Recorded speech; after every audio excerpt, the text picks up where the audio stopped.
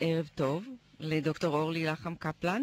ערב טוב, דפנה ורונן. ערב היי. טוב. מצטרפת אלינו שוב, נראה לי שכבר אפשר להגיד שאנחנו מייסדים מסורת, לא? אמת. ואנחנו במדור או בפינת הגיל היפה, הנה כבר התחלה אופטימית. והיום אנחנו רוצים לדבר על נושא מאוד מוכר לכולנו, לחץ. וביתר פירוט, לחץ בעבודה והבלנס שנדרש כדי לאזן את הלחץ הזה ולפנות מקום גם לחיים, לכיף, לפנאי. אז אה, אורלי, בואי ספרי לנו קצת רקע, על איזה איזון מדובר. טוב, אה, הסיבה שאני רציתי לדבר על זה בכל אופן היא שמבחינת תפקידי בבייקר IDI נתקלתי לאחרונה בכמה אנשים שפנו אליי וביקשו שאני אעזור להם אה, למצוא שיווי משקל בין העבודה לבין החיים הפרטיים שלהם. אז כש... בן אדם פונה אליך ושואל אותך איך אני יכול לעשות את זה, השאלה הראשונה למה בדיוק הם מתכוונים.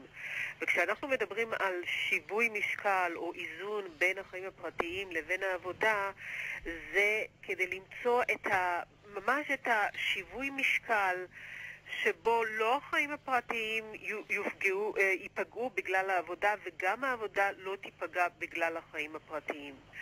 כשבן אדם לא מוצא את השיווי משקל הזה, אז זה יכול לפגוע בו בכמה צורות. זה יכול לגרום ללחץ אה, אישי מאוד גבוה בבית וגם בעבודה, יכול לגרום לחוסר ריכוז, חוסר סיפוק בעבודה, חוסר סיפוק בבית. אה, יש מגבלות עצומות בפיתוח הקריירה, מגבלות בהשתתפות באירועים משפחתיים וחברתיים, אה, יש מגבלות ליהנות מתחביבים שהבן אדם רוצה להשתתף בהם או לעסוק בהם, ובאופן כללי יש גם פגיעה בבריאות. אנחנו נגיע לכל הדברים האלה, אבל בכל זאת, שורה תחתונה, אנחנו, אנחנו בעצם נתקלים בהמון אנשים שלחלקם מוצמד הכינוי וורקוהולים. אני לא יודעת אם זה רלוונטי ממש אחד לאחד כאן. מאוד רלוונטי, מאוד רלוונטי. בעשר השנים האחרונות נעשו המון מחקרים, והרבה מחקרים הגיעו מארצות הברית ומקנדה. ובמחקרים האלה הם גילו שלפחות אחד מתוך ארבעה אנשים יש להם בעיה רצינית בלמצוא את האיזון בין העבודה לבין החיים הפרטיים שלהם, או החברתיים שלהם.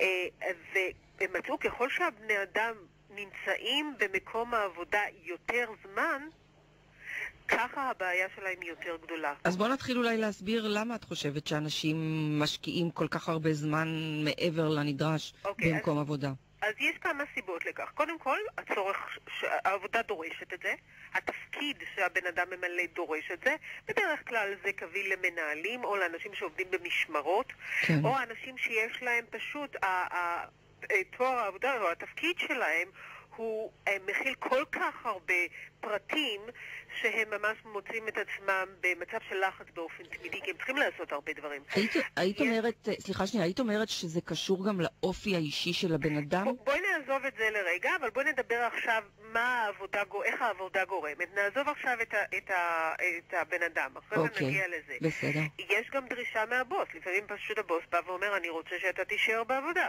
אני רוצה שתמלא את זה ואת זה, אני רוצה שתגמור כן. את המאמר הזה, או תגמור את הריפורט הזה וכולי וכולי בזמן מסוים, ולכן יש לחץ. יש גם מצב שבו פתאום האנשים מגלים שבעבודה הם יכולים להשתמש בטכנולוגיה שלהם בבית.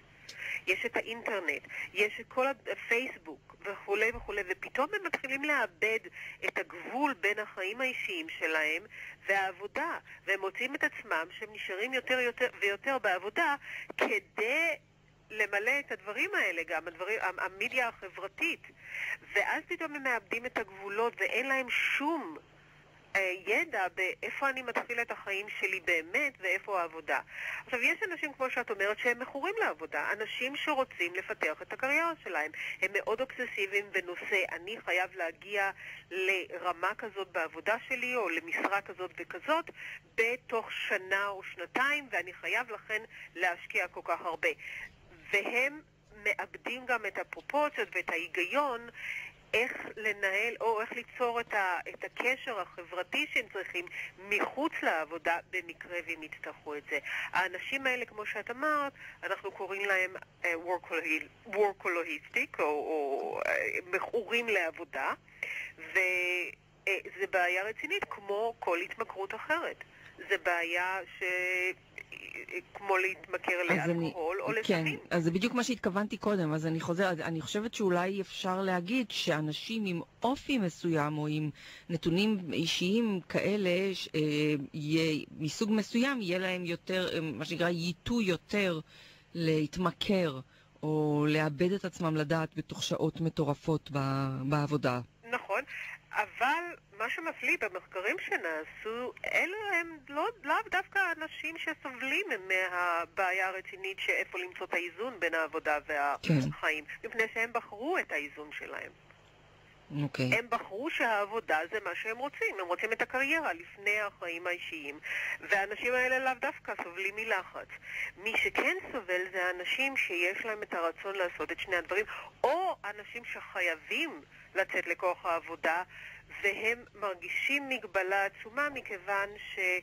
הם רוצים לדאוג למשפחה, הם רוצים שיהיה להם חיי חברה, אבל הם מוגבלים מכיוון שהם צריכים לצאת לכוח עבודה. ופה אנחנו מדברים למעשה על, על נשים יותר מגברים. נשים בשנים האחרונות יותר ויותר מעורבות בלהביא את הכסף הביתה. הן הולכות לכוח עבודה, אבל הן עדיין הן העיקריות שמטפלות בילדים או בהורים הזקנים או, או מטפלות בבית עצמו, לאו דווקא במשפחה, בבית עצמו. כן, התפקידים המסורתיים. הלחץ פשוט גובר וגובר. במחקרים האלה הם גם אמרו שהמון נשים מתלוננות שלמרות שהן משקיעות יותר בעבודה ומביאות יותר כסף הביתה, הן לא מקבלות את התמיכה המלאה מבני הזוג. ואין החלפה בתפקידים. זאת אומרת, אם היא הולכת ליותר שעות עבודה מחוץ לבית, הבן זוג לאו דווקא מחליף אותה באותן שעות אלה בבית, בתפקידים שהיא צריכה לעשות שם. נו, וזה מוביל לרגשות אשם. ובוודאי, אישה באופן, באופן טבעי, יותר אמוציונלית, היא דואגת לילדים, אני עוזבת את הילדים להרבה זמן, היא מרגישה אשמה. אם היא עושה את זה גם, גם ולאו דווקא היא מרגישה אשמה רק לגבי הילדים. למשל, אם היא יוצאת חמש דקות לפני שהיא גומרת את העבודה הביתה, אז היא מרגישה אשמה שהיא לא גמרה את העבודה. כן. טוב, זה כבר עניין של תרבות. זה אשמה שממשיכה וממשיכה וממשיכה וממשיכה, וזה מין מעגל כזה שאי אפשר לצאת ממנו. וכמו שאמרנו, הדבר הזה אה, נגמר בלחצים עצומים. אני רק רוצה להגיד עוד כמה עובדות בנושא כן. המחקרים שנעשו. כן. אה, הדברים האלה הם כמובן יותר uh, חזקים באנשים שעוסקים בעבודות של טיפולים רפואיים, רופאים, אחיות, uh, אנשים שמטפלים בזקנים, uh, וגם אנשים שמטפלים במשפחה שלהם בתור קרר, אבל שהוא מקבל כסף מ- מ- מהממשלה בשביל זה. האנשים האלה, השריפה שלהם, בואי נגיד, מבחינה מקצועית ואמוציונלית היא הרבה יותר גדולה מכל סקטור אחר. מה לגבי הייטק? הרי יש הרי את הסטיגמה הזאת על ההייטק, שהם יודעים מתי הם מגיעים והם לא יודעים מתי הם יוצאים. וזה גם נכון. אלה האנשים שכמו שהזכרתי קודם, הם מאבדים את הגבולות. איפה כן. הבית, איפה המשפחה, איפה העבודה. והאנשים האלה יכולים לשבת שעות מול מחשב ולעשות את הדברים שלהם בלי לחשוב בכלל שהם גורמים נזק עצום, לא רק ל, ל, מבחינה נפשית, חברתית, אבל גם מבחינה בריאותית. כן. עכשיו, מבחינה נוספת זה שהמון אה, אה, אה, ארגונים והמון מקומות עבודה פתאום התחילו להבין שהדבר הזה למעשה פוגע מהם מאוד. המחקרים האלה גם גילו, ולמשל אני אתן דוגמה, בקנדה הם הבינו שבגלל שאנשים סובלים מחוסר האיזון הזה, ובגלל שהם מגיעים למצבי לחץ נוראיים, ולכן הם לוקחים ימי מחלה וטיפולים, והם עוזבים את העבודה, והם חוזרים לעבודה, וכולי וכולי, הפגיעה הכלכלית... היעילות. היא ונכון, היעילות מאוד יורדת, אבל הפגיעה הכלכלית בקנדה הגיעה ל-6.5 ביליון דולר בשנה. כן, כתוצאה ישירה של... כי שמה אפשר, כי שמה אפשר. בן אדם יכול לממש את הזכויות שלו בקנדה, בארצות הברית זה לא קיים, זה קיים פחות, מפני ששם אנשים גם מפחדים לקחת חופש, הם ימותו בעבודה ולא... בדיוק, אבל אם בן אדם מת אתה צריך להביא אחד חדש, כשאתה מביא נכון. חדש אתה גם מפסיד, אז ההפסדים נכון. הם גדולים בכל מקרה כן. לארגונים ולמקומות העבודה, ואז הם הבינו, הגיע הזמן לשנות את הפוליסיס, הגיע הזמן לשנות דברים כדי שהשינויים או התחלופה בעובדים או ימי המחלה וכולי וכולי יופחתו, ואז אפשר למעשה לחסוך מבחינה כספית ולי, ו, וליצור אווירה של יעילות בתפוקה ש, ש, אז, בזמן העבודה. אז בואו בוא נתקדם, אנחנו מבינים את הנזק, בואו בוא נתקדם עם מה אפשר לעשות אז, כדי להגיע לאיזון. עכשיו, אה, מה עושים? הבעיה היא לא נפתרת בכך שמחלקים בדיוק 50% עבודה, 50% בית. מכיוון שזו לא פורמולה שיכולה להתאים כן. לכולם. יש אנשים שצריכים להשקיע יותר בעבודה ופחות בבית, ויש אנשים שצריכים בבית פחות מעבודה. וזה מאוד דבר פרטי. אבל הדבר, השלבים שצריך לעבור דרכם כדי לעזור לבן אדם להבין מה הוא צריך כדי שזה יעזור לו, זה קודם כל לעשות אה, פירוט של סדר העדיפויות בחיים. אוקיי? Okay? ניהול מטרות. בדיוק, קודם כל, מהם המטרות? ל- ל- ולעשות ממש רשימה, מה, מה המטרות שאני רוצה להגיע אליהן ומה סדר העדיפויות, איזה מטרות הן יותר חשובות ופחות חשובות. הדבר השני שזה מאוד חשוב זה ללמוד ניהול זמן. time management זה דבר מאוד עיקרי. כשאת אומרת ללמוד, מה, מה, מה, למה את מתכוונת? אוקיי, okay, יש, יש... יש תורות, סדנאות? יש... יש תורות שלמות בנושא ניהול זמן. זאת אומרת, אנשים שבאים, ל, ל, קודם כל, איך מתחילים אה, אה, לפעול, זאת אומרת, גם בעבודה, גם בבית. את נכנסת הביתה, יש לך ארבעה דברים לעשות, את יודעת, את צריכה לעשות קניות, את צריכה לנקות, את צריכה לשטוף את הכלים, את צריכה אה, לרחוץ את הילדים ולהכין אוכל וכולי וכולי וכולי. כמה זמן את צריכה להקציב לכל דבר, זה מה שחשוב. איזה מטלה יותר חשובה לעשות קודם, איזה מטלה יכולה להישאר לסוף, ולדעת בדיוק מה הזמן שצריך להקדיש לכל מטלה. וזה דבר שצריך לעשות בעבודה, וצריך לעשות גם בבית. ו... בעבודה זה יותר מורכב. בעבודה גם מחלקים את זה למטלות דומות, זאת אומרת, אם יש לך סדרת טלפונים לעשות, והסדרת טלפונים האלה זה לקליינטים, כמובן שזה דבר חשוב, מכיוון שבבוקר הקליינטים בטח נמצאים כן. במקום שלהם, אז מצלצלים לעשרה קליינטים בבוקר, ובזמן אחר הצהריים עושים את כל הקבלות וכולי וכולי וכולי. אז יש תיאוריות שלמות על איך לנהל את הזמן. אבל כמו שאמרתי, זה גם דבר מאוד פרטי. אישה שתבוא הביתה תגיד לו, יותר חשוב לי אה, להקדיש את השעה הראשונה לבשל אוכל, ואז לשים את הילדים שיאכלו, יש לי שקט, ואז אני הולכת כן, לרחוץ. כן, אבל, אבל כל עוד את מנהלת, את, זאת אומרת, יש לך שליטה או, או כלים לנהל את הזמן שלך, כל אחד יקבע לעצמו את סדר העדיפויות שלו, as long as המטרות בסופו של דבר מושגות. בוודאי, אבל חייבים קודם לדעת מה המטרות. כן. שנייה, אני רוצה רגע, אני רוצה רגע להבהיר משהו. ישנם שני סוגי לחצים, יש לחץ חיובי ולחץ שלילי. בדיוק, ואנחנו נגיע לחץ. ללחצים. עכשיו אנחנו מדברים רק על המצב של למצוא את האיזון בין החיים לעבודה. כן. זה, זה, זה, אם לא מוצאים, זה מגיע למצב של לחצים גבוהים, אבל אנחנו נדבר על לחץ בנפרד בתוך okay. כמה אוקיי. דקות. אבל אני רוצה להמשיך באיך לעשות את זה כדי להגיע לאיזון, שהוא יהיה איזון חיובי.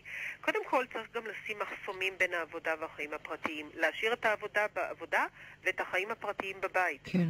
זה דבר שהוא מאוד מאוד חשוב. צריך להיות עם גישה חיובית.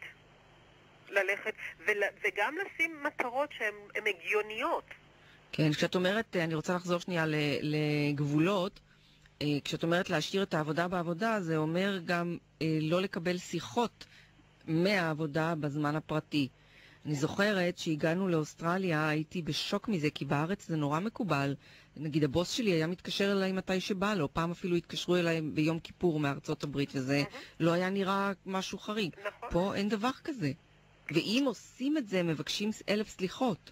נכון, זה, זה גם תלוי איך, איך את מרגילה את האנשים כן, שסביבך. כן. למשל, אה, בשעות העבודה, אה, אם חברה תתקשר אליי בשביל שיחות סתם, אני חושבת שאני אגיד לה, תשמעי, אין לי זמן עכשיו, אני עובדת. כן. אבל אם אה, הבוס שלי התקשר, את צודקת, אה, זה קורה בו מאוד בנדירות, אבל כשעבדתי במחקר באוניברסיטה זה קרה המון. אני עבדתי סופי שבוע וערבים ובקרים, ובאמת לא היה שום גבולות. אבל מה, זה, זה בגלל שזה הסקטור הזה, זה בגלל שזה מחקר. ומי שדוחף את, את עצמך ואת הקריירה שלך זה אתה. ואם אתה לא כן. תעשה את זה, אז אף אחד לא יעשה את זה בשבילך. כן. אבל כמו שאני אמרתי, זה דבר מאוד אישי. בוא נמשיך הלאה. צריך, כמו שאמרתי, גם גישה חיובית. והדבר החשוב ביותר זה לא להגיע למצב של עייפות נפשית ועייפות גופנית. כי ברגע שבן אדם שורף את עצמו בעבודה והוא עובד עבודת יתר, כשהוא מגיע הביתה הוא לא מסוגל להתמודד עם דברים. חוסר שינה ועייפות זה דבר שיכול לפגוע בבן אדם יותר מכל דבר אחר. ברור. אבל אז צריך לקום, ולמרות חוסר שינה ועייפות צריך שוב לקום מחר בבוקר, ואז אתה רק מחפשים- בגירעון כל הזמן, כן. ואז מחפשים. כן, ואז מחפשים מה שנקרא אה, תרופות פלא חיצוניות, וזה מגיע עד התמכרות לברביטורטים והשד יודע. ויש הרבה התמכרות לאלכוהול, לסיגרים אלכוהול, ולסמים. סיגרים. זה הכל זה ההשלכות. אבל אורלי, אנחנו מתקרבים לסיום אה, לצערנו, כן? אה, אני רוצה כמה מילים. על מה שרונן העיר באלף קודם, אה, לחץ טוב ולחץ אוקיי, רע. אז יש לחץ טוב ולחץ רע. לחץ הוא דבר חיובי באופן כללי. אם מקבלים אותו במנות קטנות, הוא מלמד את האדם להיות, אה, אה, איך אומרים, אה, להיות resistant. עמיד. resilient. הוא יכול לעמוד. במצבי של לחץ, הוא יכול לתפקד, הוא יכול לחשוב, וזה דברים שמאוד עוזרים, למשל, במצבים של לחצים בצבא. כן. כן. החלטות מיידיות. זה אנשים שיושבים למעלה, מנהלים את החברה. הם אנשים שיכולים לעמוד בלחצים, מכיוון שהם למדו איך לקחת את זה בצורה חיובית. אני רוצה, כן, אני רוצה רגע להגיד כמה דברים על נושא של לחץ חיובי ולחץ שלילי. מהמם. לחץ, לחץ חיובי ברור שהוא לחץ חיובי, זאת אומרת הלחץ הוא כעיקרון דבר חיובי, מפני שכשאנחנו היינו לקטים ציידים הדבר הזה הציל את החיים שלנו. אבל מצד שני, כשהיינו לקטים ציידים, אנחנו עסקנו בערך שלוש שעות ביממה בחיפוש מזון ובכלכלה שלנו. ברגע שהפכנו להיות חקלאים ואחר כך עירונים, הפכנו להיות עסוקים בכלכלה שלנו במשך 16 שעות ביממה. ואני לא מדבר על מה שקרה בעיר המודרנית וכן הלאה וכן הלאה, וה, ובכלכלה ובחברות הנאו-קפיטליסטיות, ששם אנשים מצופה מהם שיעבדו 24 שעות ביממה. אבל, איך שאני רואה את זה, ויש חלק מהמחקרים שמראים את זה, הלחץ השלילי, זה שבו המוח מפריש חומרים אה, לצורך שרידות ולא לצורך התפתחות, זה בעיקר נובע כאשר לבן אדם יש דיסוננס יחסית למה שהוא רוצה, בין מה שהוא רוצה לבין איך שהוא תופס את הסביבה שלו. כלומר, הוא היה רוצה להיות בבית, אבל הוא נאלץ להיות תקוע בעבודה. הוא כבר בלחץ אטומי. הוא היה רוצה שהקריירה שלו תתפתח לכיוון מסוים, אבל היא לא מתפתחת.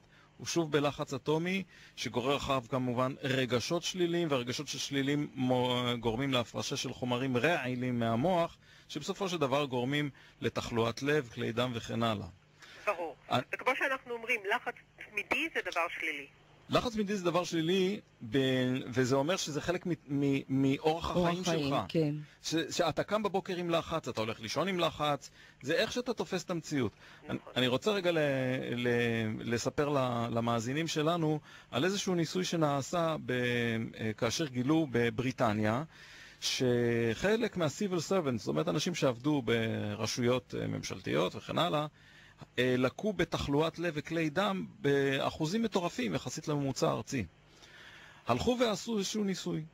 הכניסו לתוך כלוב קופים, חבורה של קופים, מאותו זן כמובן, שהם היו אה, משפחה, שבט אחד גדול, שלכולם נתנו את אותו אוכל, אותו בריאות, אותו הכל. אלא מה? שהקופים נחלקו לשלוש אה, אה, שכבות.